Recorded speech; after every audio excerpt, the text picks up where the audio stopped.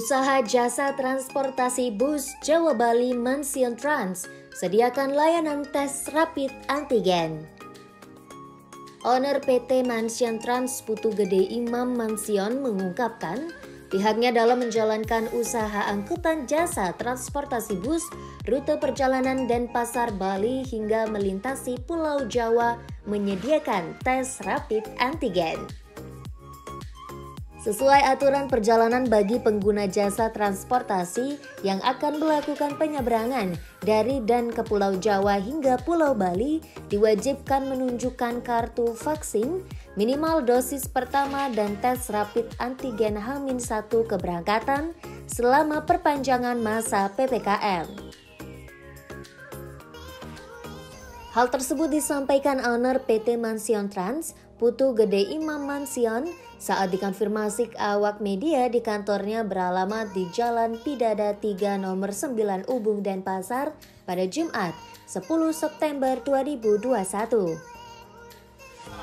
Uh, awal berdirinya Mansion itu uh, dari tahun 2010.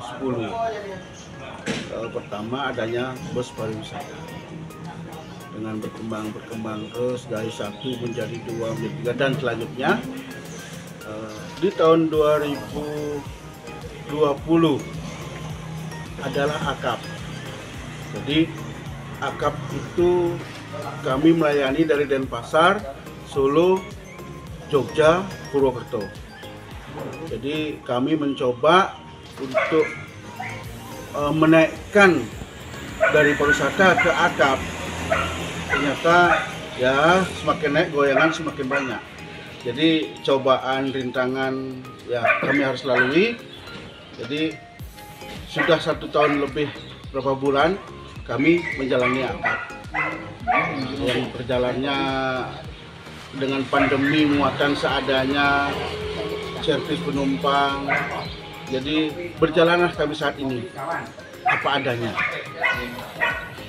jadi itulah pengalaman kami di pariwisata dengan nama Mention ini karena kami ada di grup uh, biker. Jadi nama kami Mention itu jadi kami kasih di situ supaya teman-teman tuh oh ini temanku punya. Karena kami ada banyak teman jadi dibantu sama teman-teman teman-teman uh, alhamdulillah ada penumpang sampai saat ini. Tapi awalnya selama tiga bulan ada penumpang satu, tiga, lima, ya kami jalan terus sampai saat ini penumpang sudahlah. Eh, kami bersyukur sekali dengan penumpang yang ada saat sekarang ini. Terkait pelayanan tes rapid antigen, pihaknya telah bekerja sama dengan Rumah Sakit Bakti Rahayu Kota Denpasar yang dilakukan di PT Mansion Trans dan pelayanan dibuka setiap harinya dimulai pukul 10.00 WITA hingga pukul 16.00 WITA. Kalau kami dari Rumah Sakit Tirahayu yang kebetulan wilayah kerjanya di Kota Denpasar, makanya mengambil uh, lokasi yang ada di Denpasar seperti ini.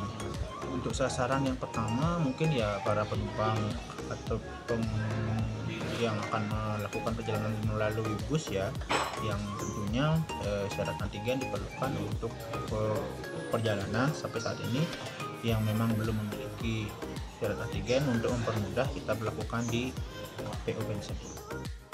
Terkait jumlah armada transportasi bus yang dimiliki, Imam Mansion menyebutkan transportasi pariwisatanya memiliki 5 bus yang selebihnya telah banyak dijual saat masa pandemi ini.